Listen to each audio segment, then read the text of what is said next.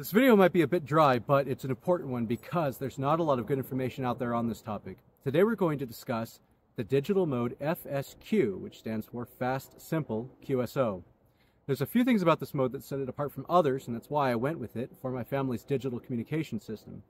First, the software is capable of sending back an automatic acknowledgement anytime a transmission is received. And that's important to me for the same reason that we nod our heads and we say, mm hmm, whenever we're talking to a person.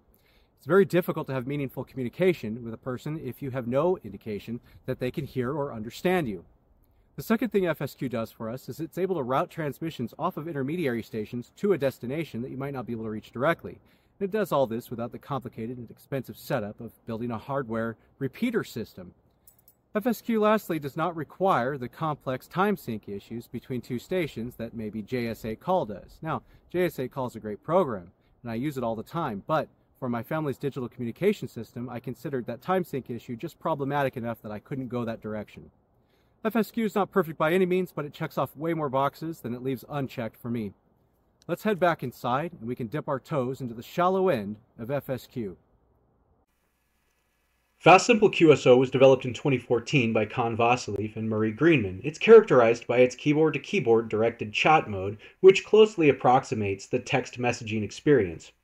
With FSQ, we can transmit small files and photos, and we can even retrieve small files from another system, which lends itself to a variety of telemetry applications. The original software for FSQ was called FSQ Call, and you can still download it from their website here. This is a screenshot of what it looks like, and it works just fine on Windows. It was never designed for Linux. Thankfully, it was later adapted into the FLDigi software suite, which allows us to use this on Linux. With FSQ, stations need not be set to the exact same speed, only to the same mode. This sets it apart from other digital modes, which often require that the sending and receiving station be set to the exact same speed. There is no forward error correction with FSQ. You simply have to rely on the robust nature of the mode for decodes, and it will typically decode down to about negative 14 decibels below the noise floor. If there's an error in the call sign portion of the message, it just won't show up on the screen, you won't get an acknowledgement, and you just resend the message. If there's an error in the body of the message, it may just simply appear as a typo, and you can usually figure out what the other person is saying anyway. Either way, this is typically remedied by slowing down the transmit speed, and you can even slow down the transmit speed of the other station remotely, and I'll show you how to do that. Every transmission in FSQ is ID'd. That is, your call sign is transmitted as part of the preamble, so you don't have to worry about typing in your call sign once every 10 minutes to stay legal.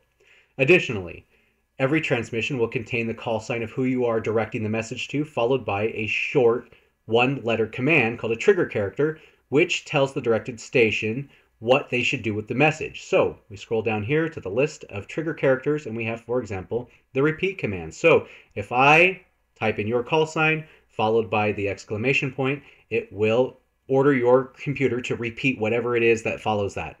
If I type in your call sign followed by the dollar sign, your computer will return back a list of every station that it's heard recently.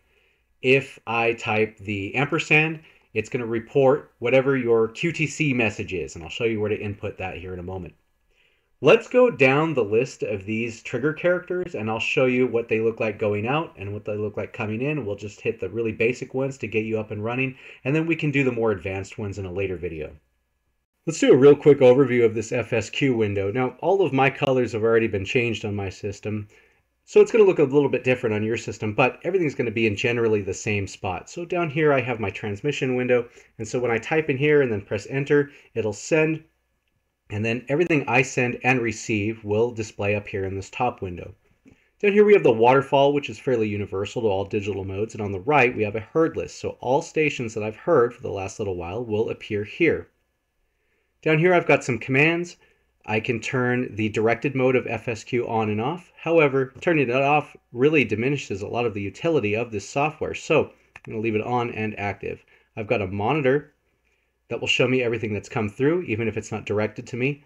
You can see there's a little bit of garbage coming through. Every now and then I get some interference that goes above the squelch level that I have set here to about one-fifth or so above the bottom of this slider. It seems to do well there. We've also got some fields for the QTH and QTC, which when I click that, it'll transmit it, or we can even retrieve that information from another station with the trigger commands that I'll show you here in just a moment. To get into the configuration for FSQ, I'm going to go to Configure, Config Dialog, and then once I'm there, I go to the modem, FSQ, and it brings up this configuration window. I'm going to be upfront with you. There's a few fields here that I have no idea what they do, and I can't find anyone else who can teach me about that. It's not in the documentation anywhere. I don't exactly know how to adjust the min hits, move average, or image LPF. If you know, please comment and let us know. But so far, I don't know this. Again, nobody else seems to know it either. Heard aging, however, refers to how long I want these stations in my heard list to last. And right now I have it set to never. Everything there is going to be in that list until I decide to remove it. And I can go ahead and do that now. I'm going to right click and then delete, and that is gone. But you could set it to automatically expire those out every 120 minutes down to one minute. I'm going to leave it at never. You can change your speed here in TX parameters. I don't find that to be the most convenient place to change my speed though.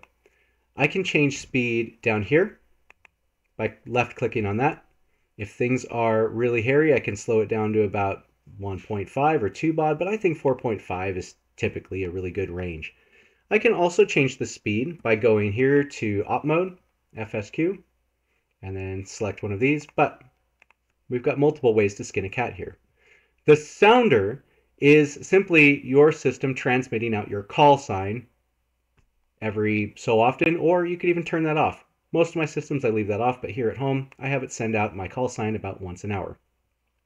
The timeout field is a really neat feature because FSQ will not cause harmful interference if somebody else is using that frequency.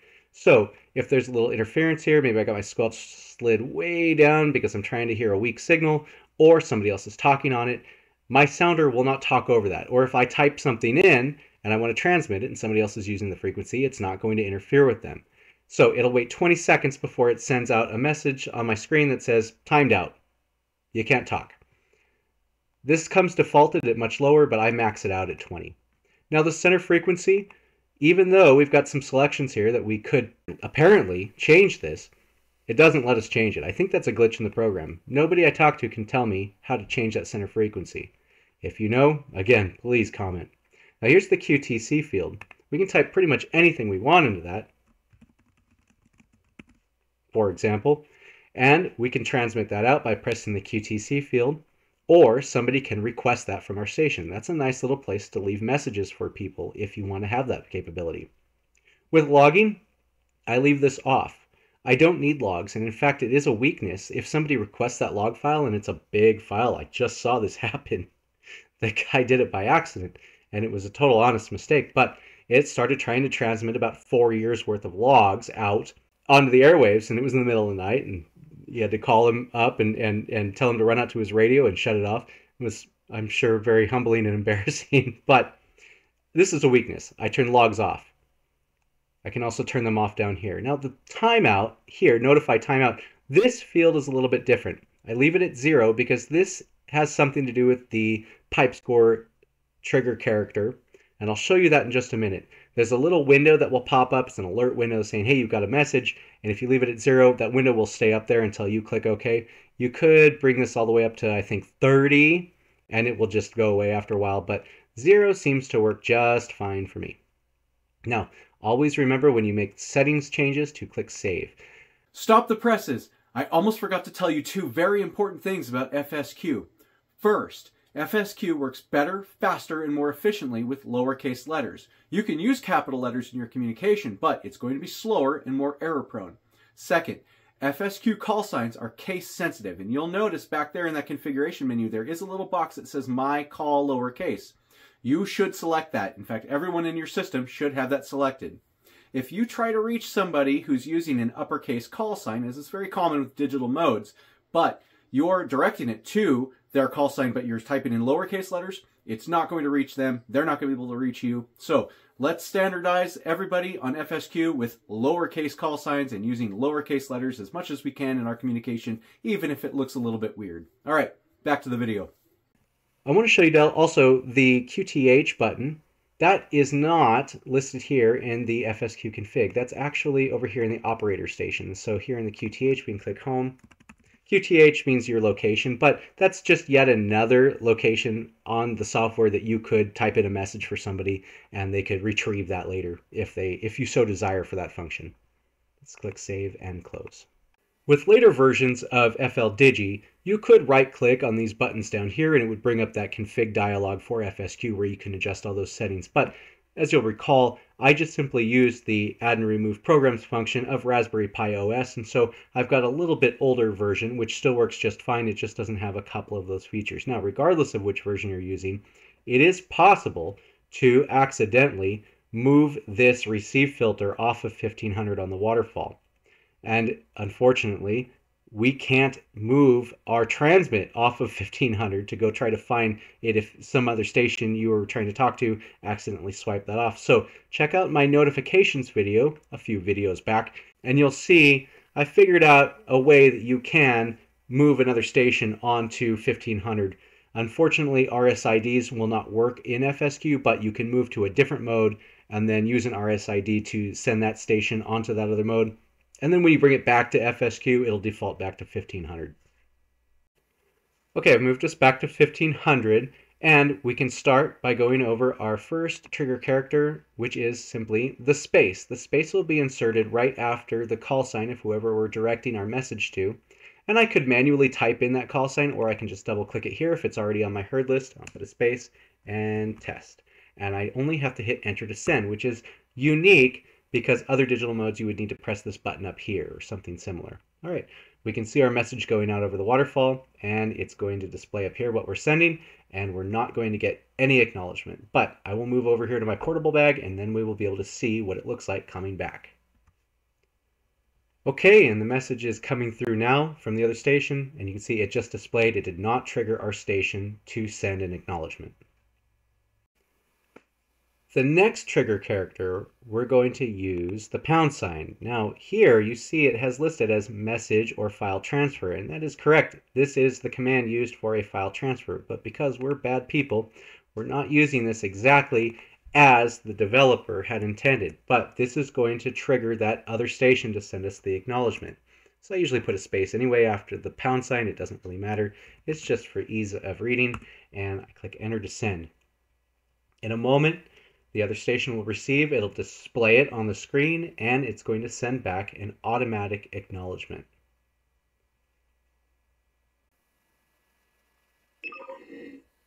Here I've now sent a message to our system at home from my portable bag. It will include the pound sign and my system will automatically send back an acknowledgement. Incoming transmission. There we go. And it's going to go out and it's just going to say ACK. Now, one thing I want to point out, I did tell you it's all directed. We can see here in the monitor window, there's my call sign. And you'll recall it's a shared call sign between me and my wife. And so everything's listed there just to make the FCC happy. And our acknowledgement went out.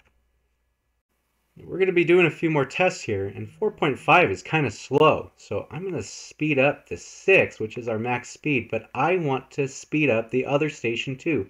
So how do I do that? Well, I can scroll down here and here's the trigger command for increase sending speed. It's the greater than symbol. So let's get back in here, do that, and I can type the greater than symbol. Now I could end there or I could type another little message after that. It doesn't really matter.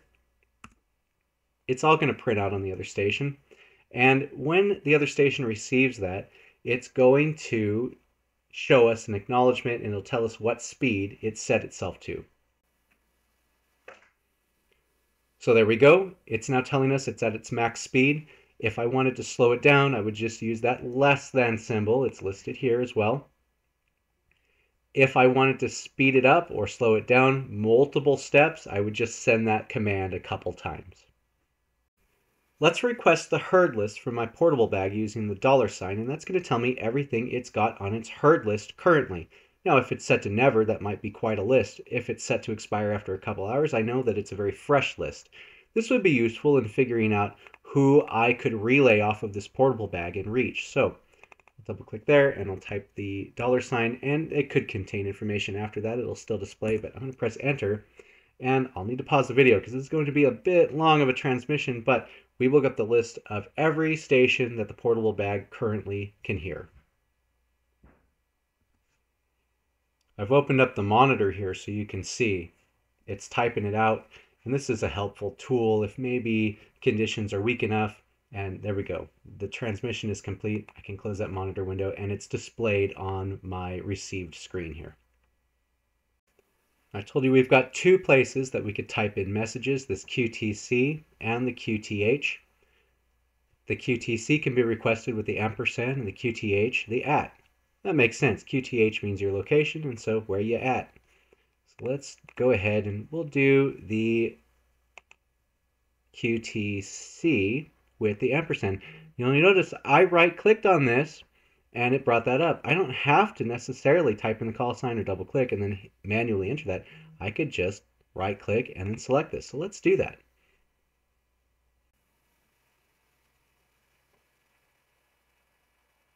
If I want to find out what version and what software the other station's using, I can right click here and we use that caret command and it'll send out that request and return back to me what software they're using. It's not a huge application for this, but you know, it's something to do. Sometimes I'm curious.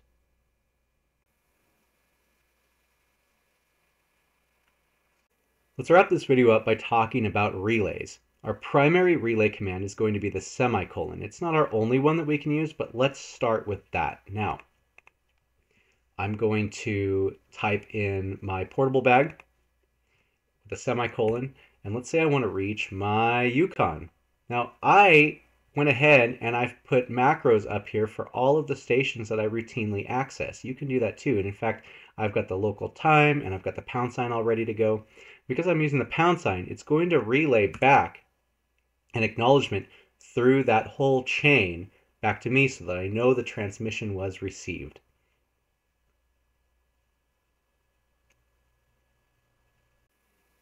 And we're receiving the message back now.